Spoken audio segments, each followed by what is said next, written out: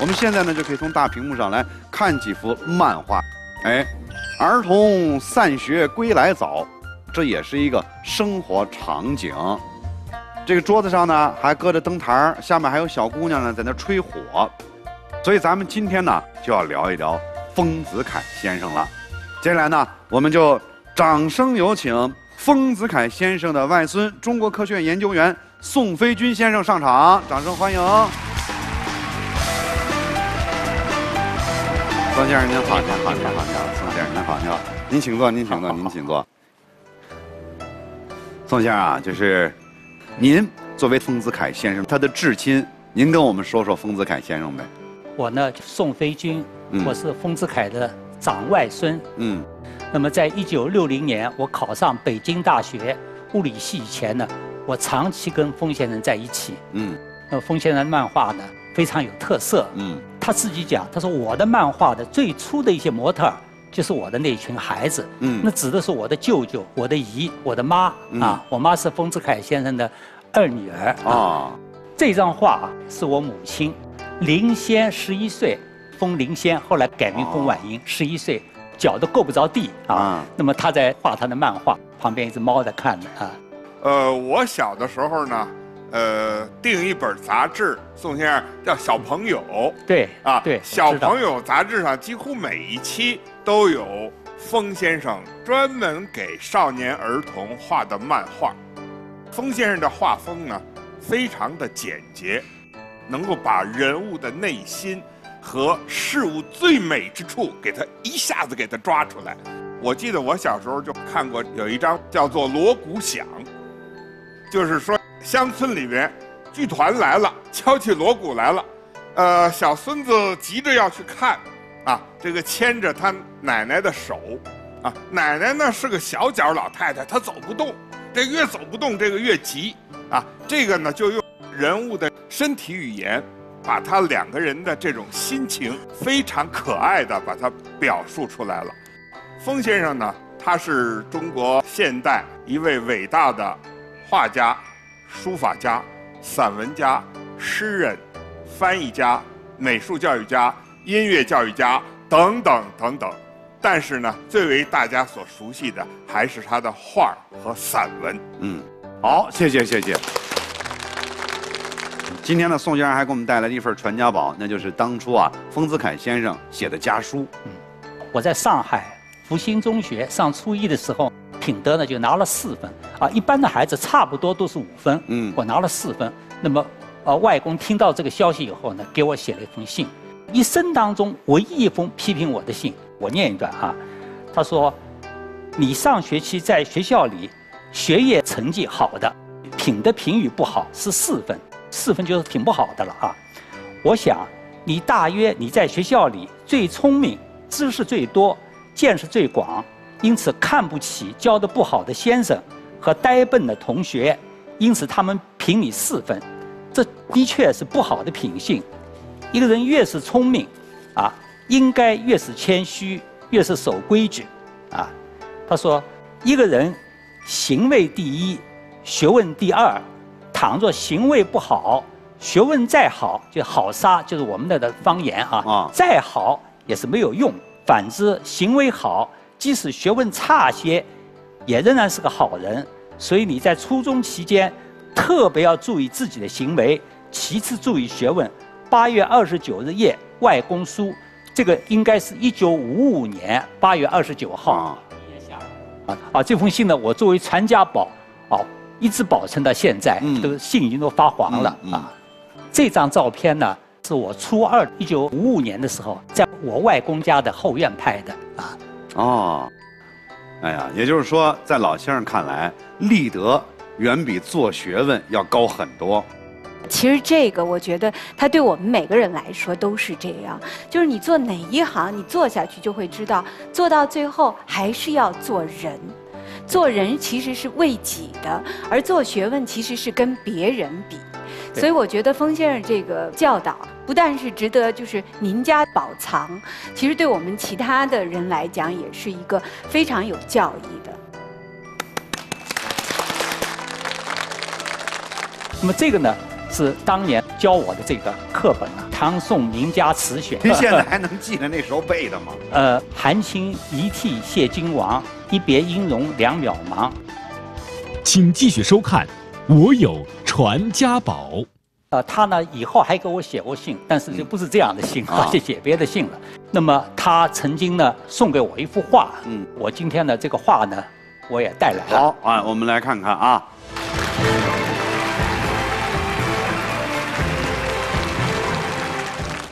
都也，也有大的，也有啊这么大的啊，大部分都是小的。这是封先生在您多大时候给您画的呀？这个画画题叫“自制望远镜”，嗯，天空望火星，仔细看清楚，他年去旅行哎，啊，那个是话题。那么画面上呢，几个戴红领巾的孩子拿着一个天文望远镜啊来看星空。那么上海的夜空呢，哎群星璀璨啊，那非常亮。那么下面的落款呢是给飞君子凯画。我呢上高一的时候呢，我特别喜欢天文，晚上看星星。那么总觉得靠自己的眼睛看呢还不够啊，有些天文的东西啊看不到。后来呢，我就跟几个同学一起，根据那个高中物理书上非常有限的那个物理知识，嗯我们到上海一个叫虬江路啊那个旧货摊上去买了几个透镜，用纸糊了一个镜筒，做成了一个开普勒天文望远镜。别看这个望远镜简单啊，它的原理是都完全对的。我们居然看到了木星的四颗卫星啊！啊哇，这个木星的四颗卫星，这个不是我们拍下来的啊哦，这个是后来荡下来的啊，那个是没拍下来。看到了土星的光环，还看到了那个呃金星的这个盈亏，还看清楚了啊月亮上的环形山。当时呢，我非常兴奋啊，就一五一十把这个事儿呢跟外公说了。当时我还记得啊，他呢听了很高兴，嗯啊喝了一口酒，提笔马上给我做了一幅画啊，就是这幅画，嗯自制望远镜，天空望火星，仔细看清楚，他年去旅行。这幅画后来发表在一九五七年的《新民晚报》上，嗯，成为我的一个传家宝。哎啊，这是原件啊。这幅画作就颇为有意思了。老先生听到啊，自己的外孙子居然在高中就可以做出天文望远镜了，那是非常开心的一件事情。等于是外公对我的一个莫大的鼓励。那么我在一九五七年上高一了，嗯我呢又喜欢文学，又喜欢美术，跟外公学美术啊。那么同时呢又喜欢数学，又喜欢物理啊，拿不定主意。那我去问外公，我说呢，你看我学什么好？那我记得很清楚，当时呢他在前面阳台上，他一面喝茶，一面跟我讲啊，啊，这是我外公啊，嗯这个是我的小舅舅嗯啊，右面这就是我啊。哦，当时呢，他就跟我讲，他说我们这个大家庭里头啊，学文学的、学外语的、学艺术的多，啊，数学、物理像你学的那么好的啊，就你一个，是你不如啊，你去学物理，考北大，啊，那么他又讲哈、这个物理呢不好学啊，他说呢，但是有志者事竟成、嗯啊，然后呢，他就给我写了一个对联、啊，嗯就是这副对联，哎，我们来看一下。盛年不重来，一日难再晨。及时当勉励，岁月不待人。这个是陶渊明的杂诗里面的四句话、啊。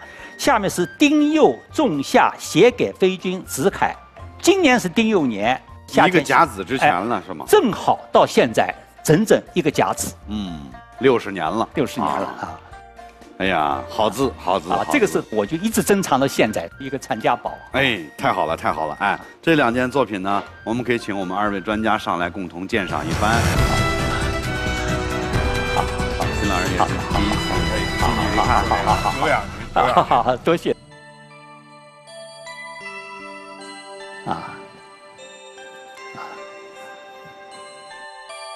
啊。是张黑女啊弘一法师那一套对对对，但是呢，对对对它的线条线条啊，非常潇洒啊，非常潇洒。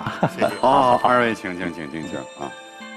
封先生呢，对于呃外孙的成绩，都是给予非常热忱的鼓励。做了一个望远镜，那么就赏了一张，这现在应该是传世名作之一。啊，这个马上把你这个做望远镜的情景啊，很详细画出来，还做了一首诗。你想，这个对于小孩儿是多大的鼓励啊！所以呢，封先生这个教育啊，确实是非常了不起的。风先生呢，他实际上艺术成就这么高啊，也是因为碰见了好老师。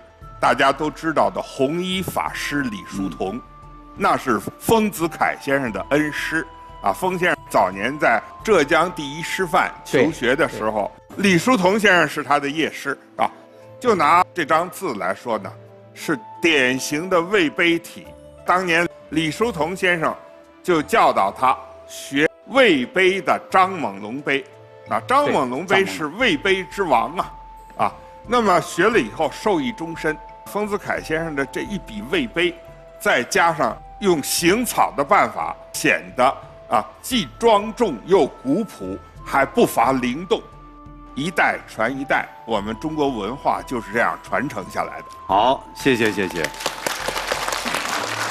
那您是听了您外公的建议，考了北大？我就选择了理科班啊。那么如愿以偿，第一志愿啊考了北大物理系啊。一九六零年啊，上大学以前呢，我又去找外公，我说外公啊，这个怎么做学问呢？他就说呢。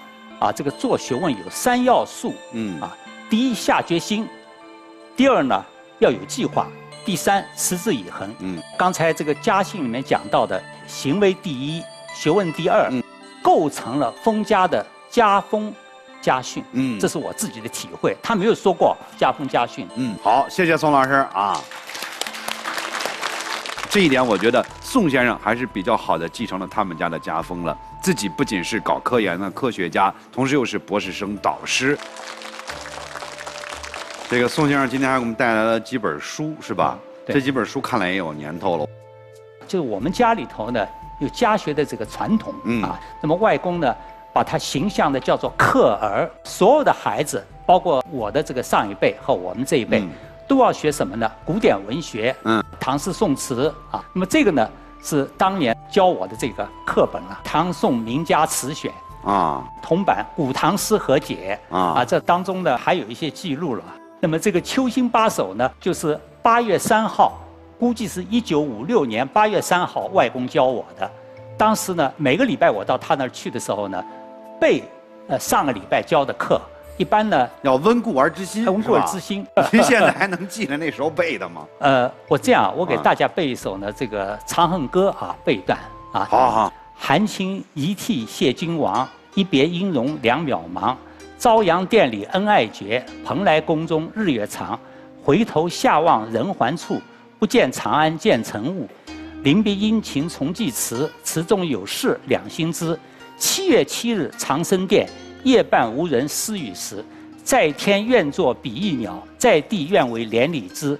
天长地久有时尽，此恨绵绵无绝期。好，好，好，好，嗯，这就是幼功啊，这就是幼功，童子功，素质教育，这就是素质教育。哎，好，宋先生，听说您也是一位知名的画家啊，我们今天也请宋先生给我们展示一下他的墨宝，来。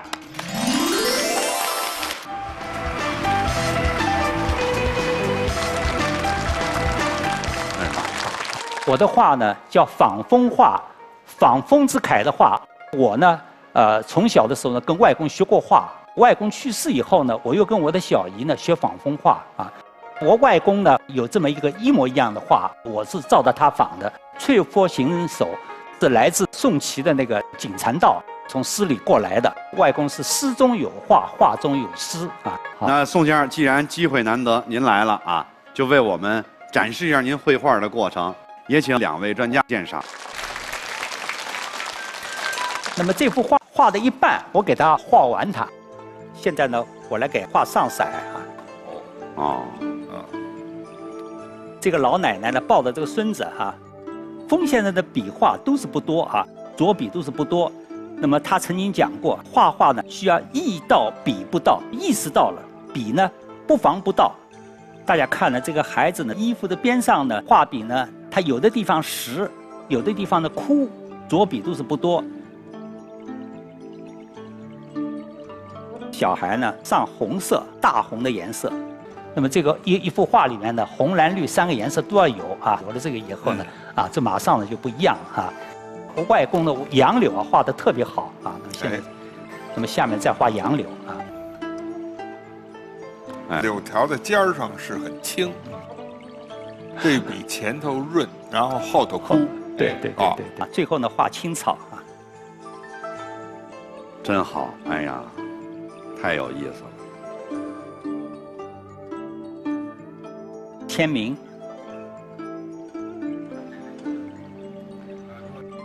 柳下相逢，哎握手手。手手握手握手手收对对对。